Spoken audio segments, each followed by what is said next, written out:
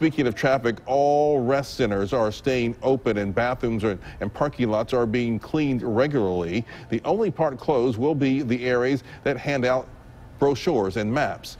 All interstates are open, crews are still working, and will issue more messaging on state billboards.